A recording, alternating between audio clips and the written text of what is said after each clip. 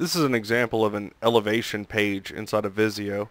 Uh, the properties of this page, or the, or the shapes that drop on this page, are that they do drop to scale based on the height and width of the product. So uh, let's go ahead and show you how to do some of that. Uh, working with a rack, I'm going to pull over a existing product from the product data matrix, as well as, let's see, let me find a rack in here. There we go. Drag this over. I've got a rack and I've got a product. So I'm going to zoom in. And so the properties of both of these shapes are both elevation shapes is that they are to scale. So unlike other page shapes like a, a line shape, I cannot rescale these by dragging any of these handles along the side.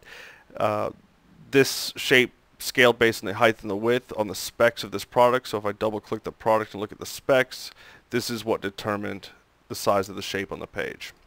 So to build a rack, you would simply drag the shape over to the rack.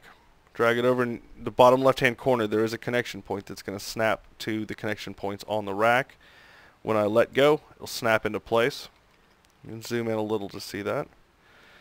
And you see that it doesn't quite fit in this rack. Um, so you would probably add a rack shelf, and that's what we'll do. I'll go ahead and grab rack shelf for my project out here. Let's find that shape. Drag it down into place. Snap it into place. Now, what we have here is an issue of um, bring to front, send to back options in Visio. So the uh, receiver layer is behind the this rack shelf layer. So it's it's very easy to correct. Um, you can use the action toolbar up here uh, to bring to front, send to back once you have something selected. You can see the options here, bring to front, send to back. Uh, you can also right click any shape, choose shape, and you can see bring to front, send to back here as well.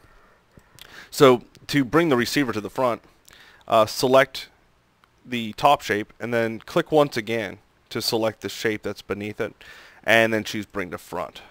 So um, that's just something you might see when you're building these racks, just different layering options. Sometimes the rack is to the front. You see it doesn't quite look right when you zoom in, so you would take the rack and send it to back. Um, some of the other options on this page that we built for you are the cabinet tool shapes that are inside of this cabinet tool stencil. I'll right click and display that so you can see this and in fact I'll pull this up to a window along here and when you're working with this, uh, there, there's a floor shape in here, um, right here. You can pull over to the page. Now, our shapes aren't going to snap automatically to this floor shape, so you might want to use uh, Visio guidelines, and you can pull as many of those to the page as needed. If you go up to the ruler that displays along the top, and you see my uh, cursor turn into like a little double black arrow, I could pull down guidelines by left-clicking. I can also pull uh, vertical ones as well and then snap this shape to that guideline and then my shapes from there on out will snap to the uh, guideline shape if you want to line those up along the way. But uh, we have cabinet bottoms, cabinet tops. So let's pull out one of these. If you zoom in a little bit, you can right click these and you can see you can choose to fill them, adjust the height, width, and kick. Show doors or not on this. We can show a solid door on this particular piece. Um, you can turn the shadow on and off if you'd like. Show shadows on right now. I just turned that off. Uh, to fill this, you can right click and choose the wood fill. And under pattern, at the very bottom you see we've added some uh, custom fills down here. We'll go ahead and make this a cherry. Choose OK and it fills for you.